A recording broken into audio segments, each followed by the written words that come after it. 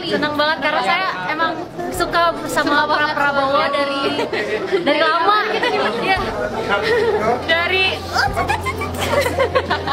harapan kita buat Pak Prabowo semoga Prabowo tetap semangat dan tetap berjuang untuk Indonesia emas 2045. Semangat Pak Prabowo. Nah, baiklah saudaraku, tadi kita sudah lihat sendiri ya milenial mahasiswa ini berharap dan mendukung Pak Prabowo Subianto dan ini terjadi di mana-mana. Bagaimana dengan yang sudah dewasa? Maka itu saya mengajak kepada saudaraku yang milenial saja yang pemuda-pemuda saja paham dari cita-cita Pak Prabowo.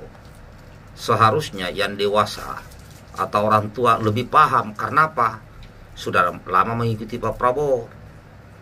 Cita-cita Pak Prabowo adalah bagaimana berdikari, menciptakan pabrik mobil sendiri, pabrik motor sendiri, ya pesawat sendiri diproduksi dalam negeri, dan bagaimana mengelola sumber daya alam dengan baik.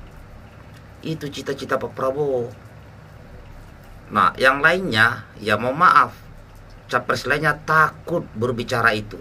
Takut berbicara memproduksi mobil dalam negeri, takut berbicara memproduksi pesawat, motor dalam negeri, takut berbicara takut berbicara bahwa sumber daya alam dikelola bangsa sendiri, takut mereka.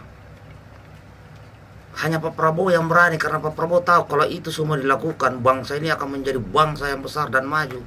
Capres lain tidak akan berani.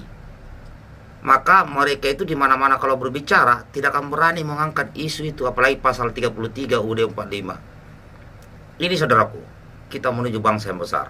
Baikkan videonya.